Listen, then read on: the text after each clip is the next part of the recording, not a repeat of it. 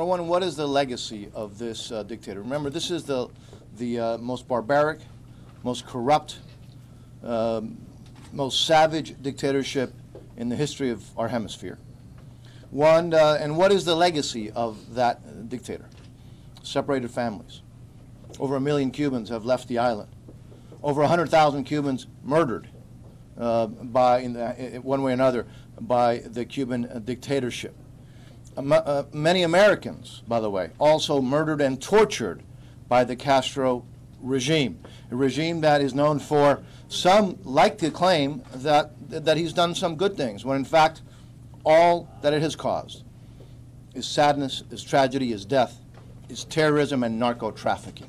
That is the legacy of Fidel Castro. So the other thing that I'm reminded of is that it's a regime that it's on its last legs. The dictator Fidel Castro was 90 years old and nature took care of him. His brother is getting close to that age and nature, if nothing else before that, will take care of him as well. So I'm reminded of all those who say it's such a good investment, such a great idea to do business with the Castros. That uh, you are doing business and you're betting on a failed dictatorship that it's on its last legs. And thirdly, I'm also reminded of all of those folks who have done so much and continue to do so much to fight for the day, the inevitable day of a free and democratic Cuba. Today, in the island, uh, pro democracy activists are being rounded up, they're being beaten up, they're being arrested.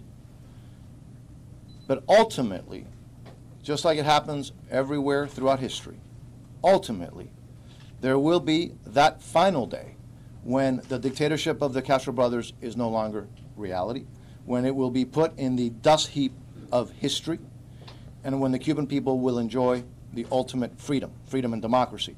And our role, our job, is to continue to work with the true representatives of the Cuban people in the island, those who are fighting and working towards democracy, and to make sure that we continue the pressure on that dictatorship until the Cuban people are absolutely and totally free. That day is coming. And today it's a reminder of how inevitable it is that the Castro dictatorship will soon enough be a thing, a nightmare of the past. Esta ocasión me recuerda varias cosas. Primero me, me recuerda del Okay, you're just listening to Mario Diaz Balart again giving his statements on the death of Fidel Castro. And he, like Congresswoman Ileana Ros-Lehtinen, did not pull any punches in their analysis of Fidel Castro's reign in Cuba.